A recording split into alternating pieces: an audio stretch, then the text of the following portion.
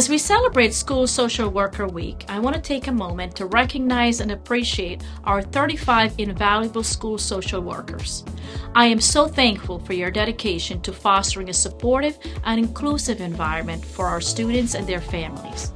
You are the link between home, school, and community in providing services to support our students. You are essential members of our VCS family. Happy School Social Worker Week.